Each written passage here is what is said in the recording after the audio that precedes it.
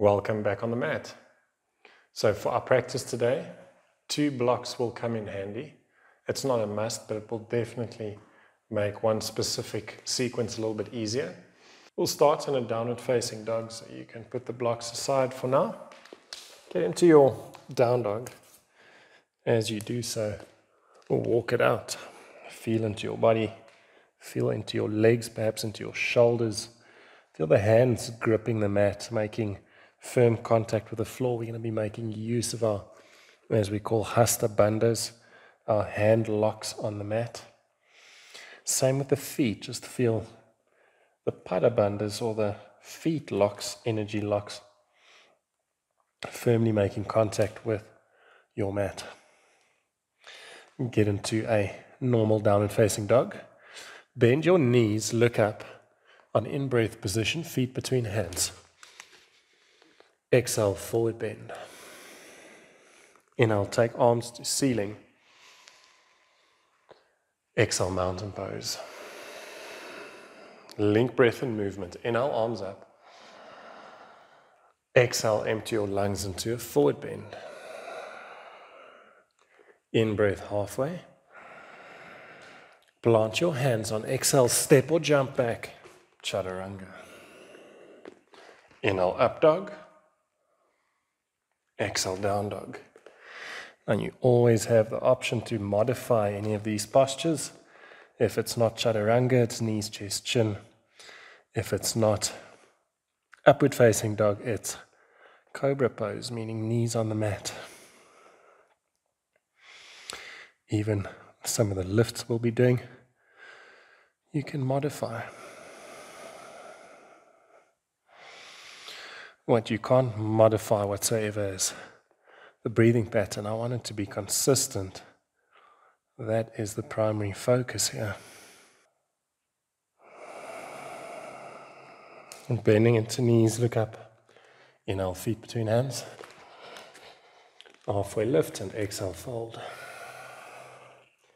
Inhale, bend knees, arms go up. Exhale, mountain pose. Get your feet hip width apart. Place hands onto waist. Inhale, lift and chest. Exhale, leaning forwards, pistol grip the big toes as you exhale. Inhale, halfway lift. Exhale, forward bend.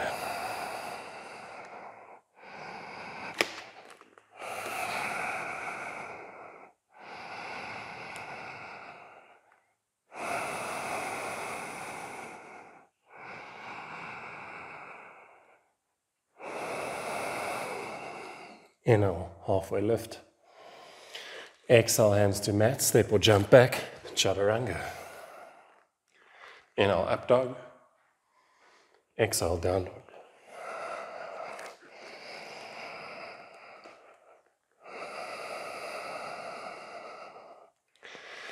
Now bend into knees, look up. Inhale, feet in between hands. Halfway lift. And exhale, forward bend bend into knees, place your hands underneath your feet. You might want to separate the feet just a little bit. Traditionally speaking, it's hip distance. We're keeping them closer together. Exhale, forward bend.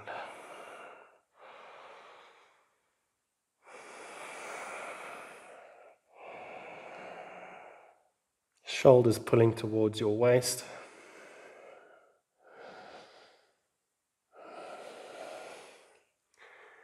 Inhale, softness in the knees, looking up. Exhale, step or jump back, lower down chaturanga. Inhale, up dog. Exhale to downward facing dog. Now walk your hands more to the back of the mat and then place your knees down. We'll be turning sideways on the mat. I'm going to give a quick demonstration. We'll get more comfortable with floating feet off the mat working our way to the top of the mat and then working our way back. So I turn sideways. I place my hands slightly or say more in line with the foot that's closest to the front of the mat. I bend into knees. I place the hands down.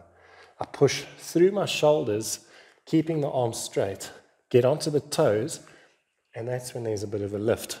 So I reach, place the hands down, lift, bring the feet down, reach, hands down, push, lift, softly down. Another one, lift, and down. And we'll make our way to the back of the mat. So slow it down as much as you can. The more you do it, the more you'll gain that control. Don't forget about lifting from the base of the spine. That's what's going to give you more hang time if the activation is done in the right fashion. So you can even place your hand more or less in line or to the center of the feet, the one hand, if you don't want to take it too wide. So bend into knees, play with the idea, even if it's not as elegant, just do what you can. Placing the hands down, hasta bandhas, lift and bring it down. Hands down, take it up and down. Keep going. It's an inhale to lift. Once you get to the top of the mat, you change rotation or you take it to the opposite side. Inhale up. I'll do one more round, even if the shoulders are getting tired. Lift.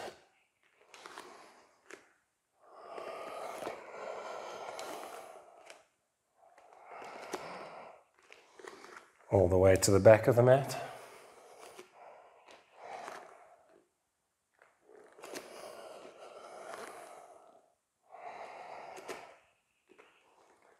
And then you can bring your knees back down onto the floor. This is where we'll start with one block. Get the block more or less where your head was placed in child's pose. If you had to have your feet in the same position where you usually have your feet in a downward facing dog. And you take your hands out in front, downward facing dog, hands on the mat. Take it up into a down dog. If it feels a little bit scary to have the block facing up, long way up, then you can flip it down. So the idea is to do a bit of a jump and get your feet over the block so you can bend into knees, look up, inhale, jump, legs together in the air, bringing your feet down. As you do so, you can simply step back, you can probably jump back. But if you feel so if you want to challenge yourself more, take the block forward slightly. Controlled movements, you're not rushing. It's a normal down dog stance. You'll bend knees, look up, use the inhale, use the breath to take yourself up. And then as you land, you can step it back. Maybe you want to take it a little bit further.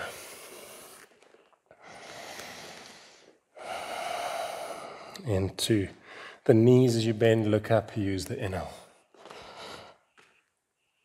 And then take it back. One more. Maybe move the block up a bit more for a bit more hang time, a bit more discipline to get over that block. Bending into the knees, look up, use the inhale. Halfway lift, exhale, forward bend. You can take the block aside.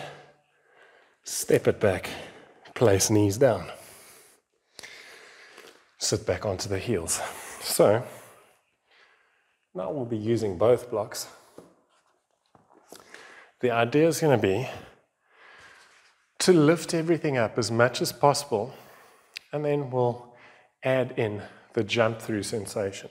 Wherever you get stuck is where you get stuck, and that's fine. But I'm going to give a few pointers. So, Hands will be on the blocks. Usually, I like to do this without blocks, but I know this comes in handy for students to have the blocks on the mat. So the knees can be in line with the blocks. You cross the legs, so the bottom leg will pull up into your body in order to lift a little bit. As you push away from the floor, push out of your shoulders. See if you can bring everything up. If it's not happening, then keep your feet on the mat. Keep pushing. Draw navel to spine, especially from the base of the spine. And then bring it back down. We'll do one more. We're going to see if we can take it up from a seated position. We'll do two more for that matter. Hands onto the blocks. Push out of your shoulders. See if you can take everything up. Get the bottom leg to work. Then bring it down. Once again, if you don't lift, you don't lift. And that's fine. One more. Push. See if you can take it up. The breath is strong. Exhale, bring it down. Now get to a seated position. Blocks will now be slightly in front of the pelvis. If you had to have the blocks right here, you're not going to be able to lift as high. So blocks slightly in front. You can cross your legs. The idea is going to be to pull legs into your body, to cross not at the ankles, but by the knees, squeezing in towards the midline and pulling knees into your body. At the same time, we'll push, see if we can lift everything up. Don't feel rushed with these movements. Quality over quantity. So draw navel to spine, position hands onto blocks, cross your legs, push, lift, keep breathing. Bring it down. Cross legs the other way around. Same sensation, you're pulling legs in towards the body as you push out of shoulders. Hands onto blocks, crossing. Inhale, push, lift. Exhale, bring it down. So now we did the initial lifting part. We did the second part where the body is sort of getting the chest forwards, legs underneath the body. Now we need to shoot it back. So, in order to not get your feet to not be on the mat, you can move forwards. We'll do the exact same thing. I'm going to lift up, get to the second phase, which we started with, and maybe shoot the legs back. If it doesn't happen, it doesn't happen. So, blocks on the floor, cross your legs, push into the blocks, lift everything up, shoot your legs back. You know, you can do a bit of an up dog, exhale into a down dog. You can take the blocks aside. As you do so, lower your hips into plank. Maybe plank feels a little bit easier than usual now.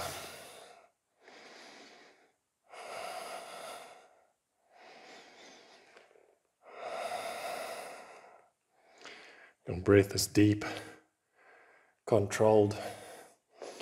Exhale, chaturanga. Inhale, up dog.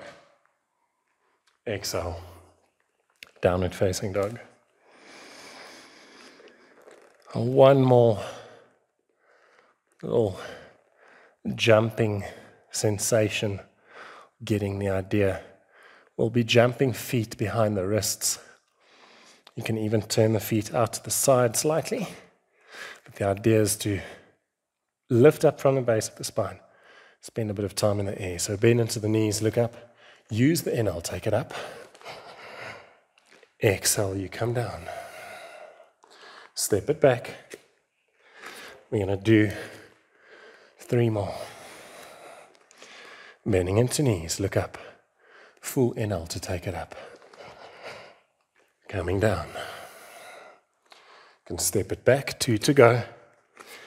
Just playing with transitioning, bending into knees, look up. Inhale.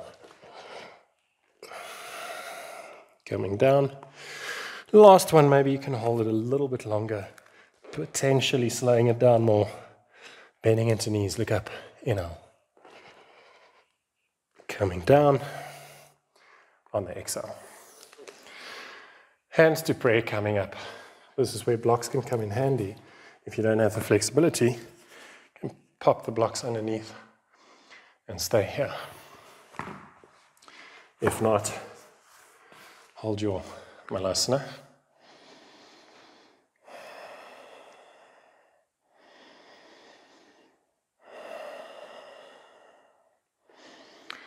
Exhale, bring your hands down, step it back downward facing dog.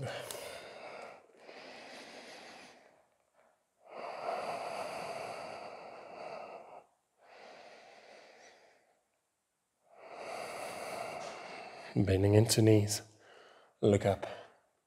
Inhale, feet between hands. Halfway lift. Exhale, forward bend. Inhale, take arms up. Exhale, mountain pose. Now we'll do our final bit of lifting. What about the uh, straddle lift? Position the blocks onto the mat once again. If you're not using blocks, you're not using blocks, and it's fine. But if you have blocks, step onto the blocks carefully. This is instantly going to help elevate the hips a bit more. Now, if you don't have the flexibility to get the palms onto the floor, you'll bend into knees. So it will look something like this. But even with the legs bent, the hips are still a bit higher. If you have the flexibility, you'll place the hands still on the mat. So you don't want to get the hands out too far. It's going to be more difficult to get the hips up. Hand shoulder distance. As you plant the hands down, tuck your elbows a little bit so you feel lat engagement.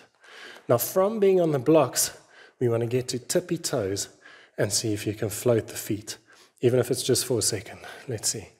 Gripping the mat, get up onto your toes, push, suck navel to spine, see if the feet lift. And then you can just repeat. Maybe you can hold it a bit longer. So just keep getting that sensation. Suck navel to spine. Use your inhale, push into the hands, lift, lift, and bring it down. Maybe you can take it a little bit higher. Plant, push, suck, lift, and bring it down. Avoid jumping as much as you can. We'll do one more. Placing the hands down, push, suck, take it up, and bring it down.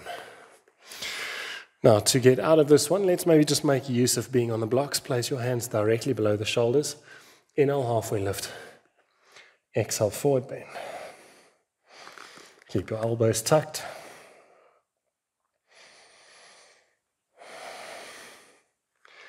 Inhale, halfway lift. Should you want to do one more for fun, you can, placing the hands down, pushing, lift, lift, lift, and bring it down.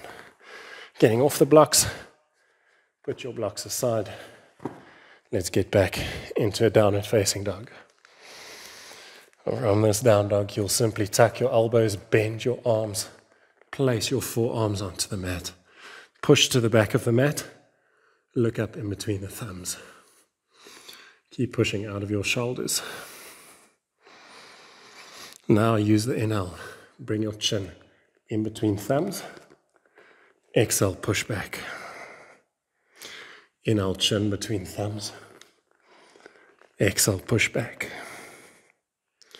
Inhale. Exhale. Two to go. Inhale. Exhale. Last one. Inhale. Exhale. Bring your knees down. We'll be getting into all fours. Turn your fingers out to the sides. Shift weight from left to right.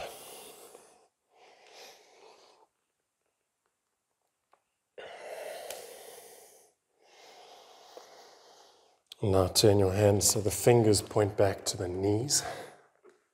Shift weight back and forth.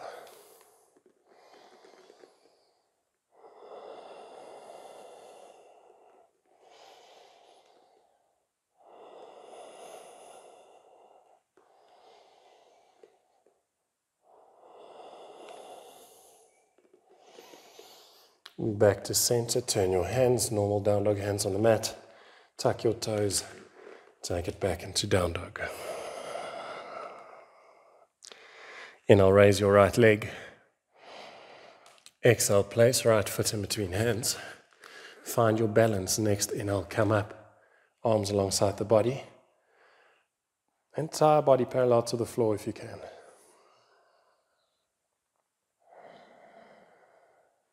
Bend your back knee. Find the ankle with your right hand. Reach with the left hand down to the floor. Look over the right shoulder and kick the leg back. It's a bit of a quad stretch, really.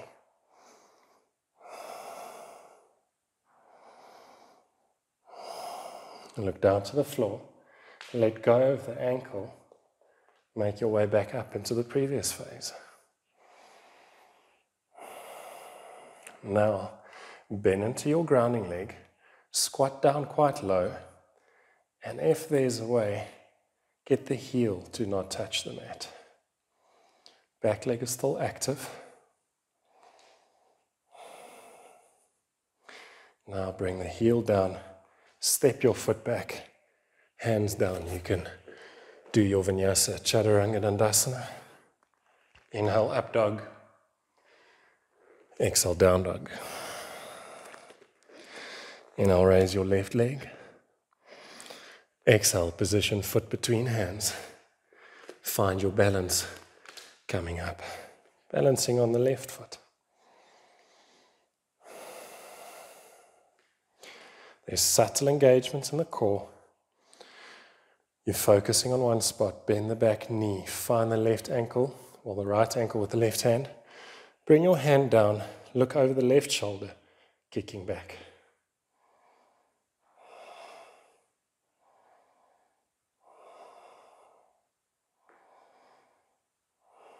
Look down to the floor. Let go of the ankle. Get back into the previous phase. Now bend into the grounding leg. Lift your left heel off the mat.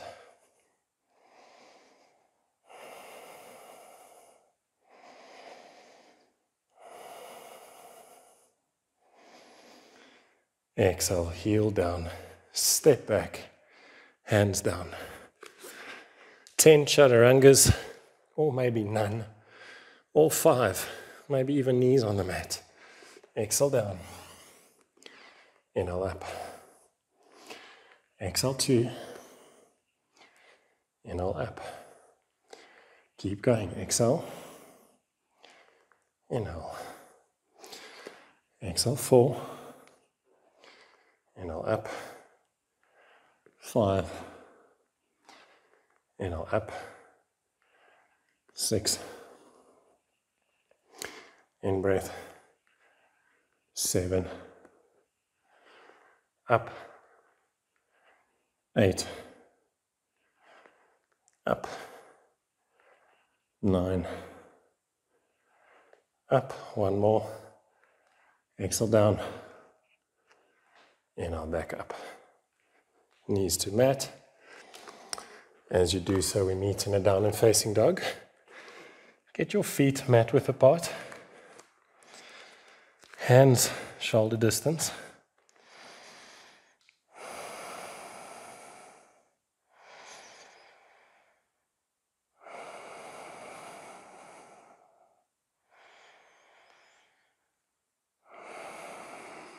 Inhale. Lower hips into the side plank. Shift a bit of weight onto the left hand. Float the right hand off the mat. Don't lift the right hip, keep the hip down. That's why we've got a wider stance to make it a bit easier. Bring the right hand down. Shift weight to the right hand. Get the left hand just off the mat.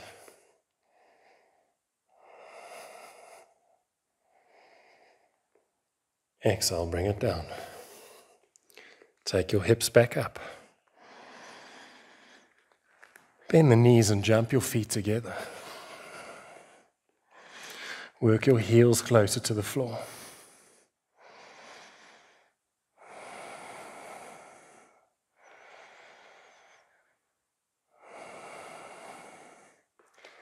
Now inhale, lower hips into plank. Bend into your knees. Tilt your pelvis. Take a full inhale through your mouth, at least nose. Exhale with an open mouth. Feel the contraction in your core. Hold that position.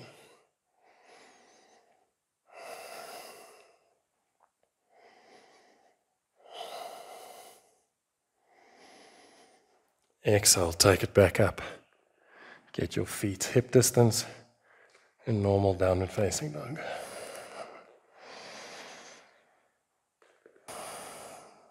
Placing knees onto the mat, finding your blocks. So, just like we picked up the entire body to get it back into chaturanga, or aim to do the same movement just from a down dog. So you place your blocks on the mat. The idea is to jump into seated, and with the hands being on blocks, you don't even have to get the legs all the way through. You can maybe jump, sort of stop there, and come down. So that's perfectly fine. If you find that the block is slippery on the mat, then I'd suggest to rather just have hands on the floor. In my case, I feel like the blocks might be a bit slippery for this one. But if the blocks are fine, keep your hands on the blocks. Exactly like what I'm demonstrating now. You bend into knees. You look up. Use your inhale to jump. Bring your entire body through into seated. You want to get everything through into a seated position. If you get stuck, it's fine. Stop where you get stuck and then simply straighten the legs. You can then put the blocks aside. Flexing both feet. Inhale, take your arms up. Exhale, leaning forwards. Find the outsides of the feet or your wrist into a forward bend.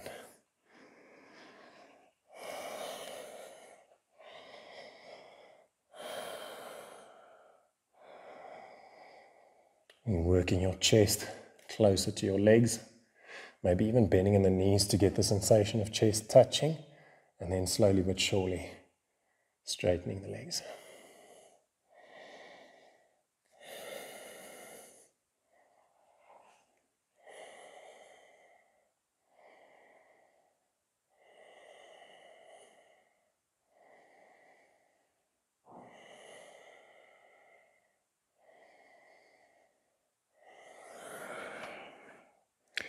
Inhale, halfway lift. Exhale, let go. Step your heels onto the mat. Find your feet once again. Sit back slightly.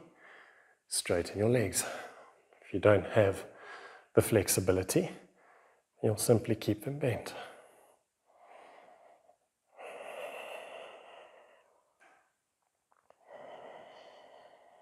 Focal point towards the big toes lengthening in the spine.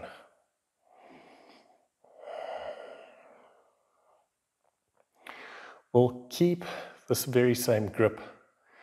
Take a nice full in breath. Exhale, part the legs.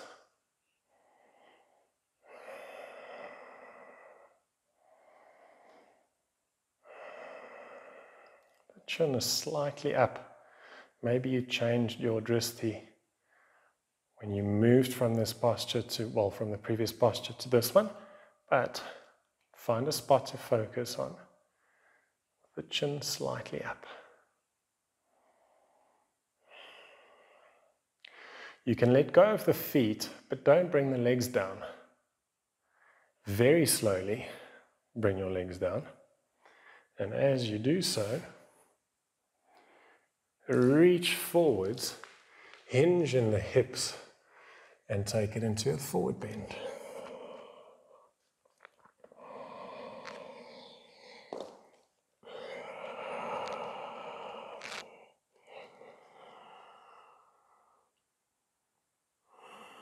Breath is nice and strong.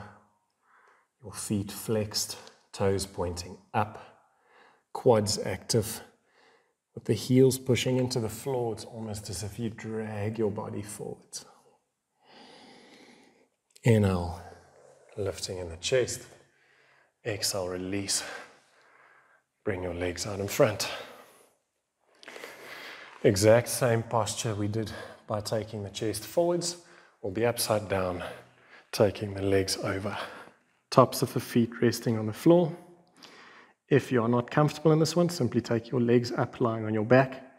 Just don't turn your head while we spend time in halasana. Interlacing the fingers and working the hands down is also an option. You can also keep your hands on your back for support.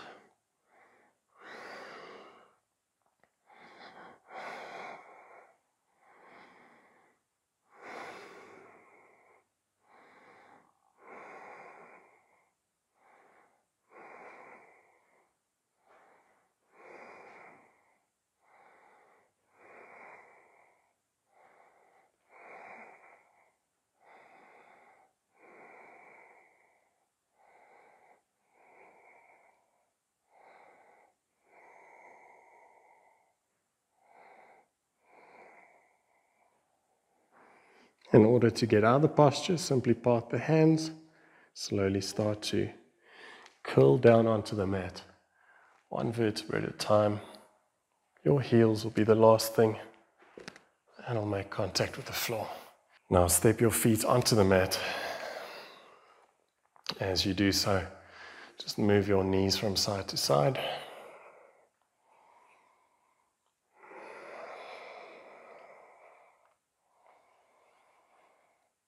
Coming back to neutral position. Just hugging your knees in.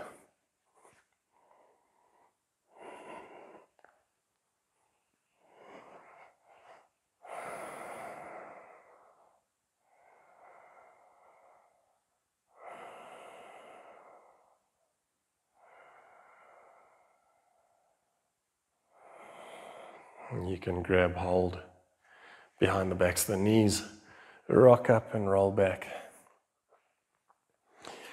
massaging your spine.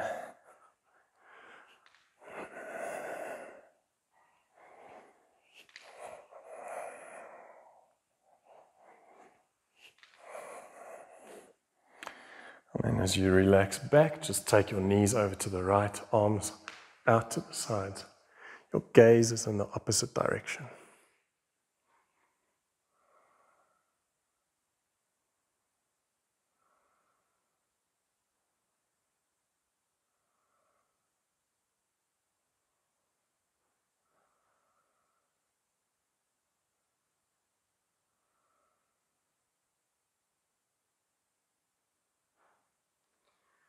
Inhale back to center. Exhale, taking knees over to the left, gaze to the right.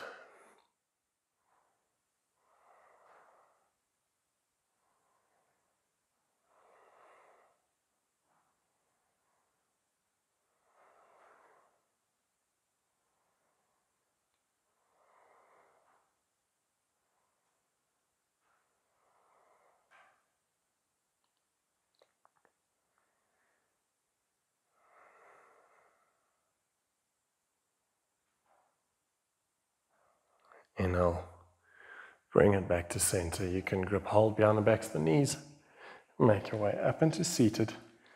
Before we do corpse pose, we will sit in a normal, comfortable seated position.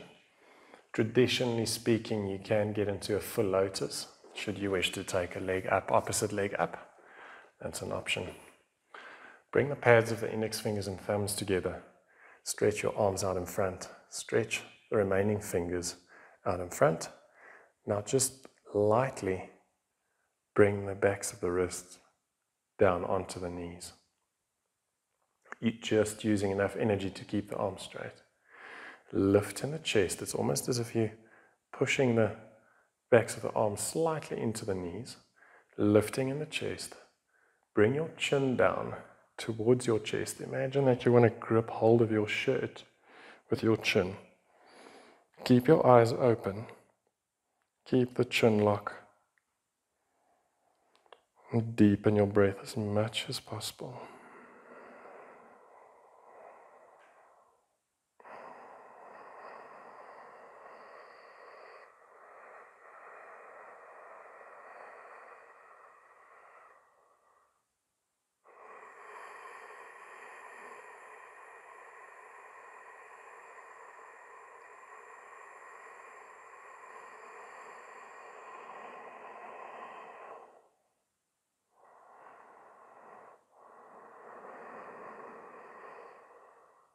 Feel your chest expanding on the inhales, the abdomen being still, and the opposite happening, that falling sensation on the exhales.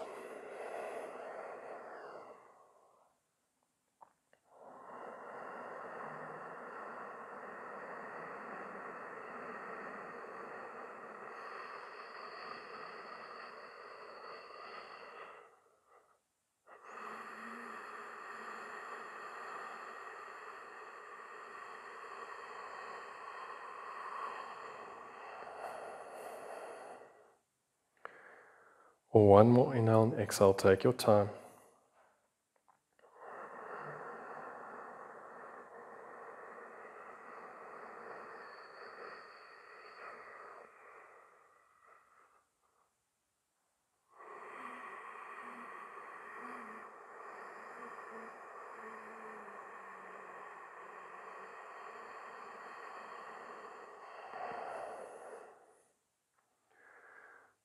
You lightly bring your chin back up, and it's time to relax back into corpse pose. The difference now is that the breath can be absolutely natural. Simply relax back. You can close your eyes as well. So the body's completely relaxed. And you just spend a moment here before we carry on with the day.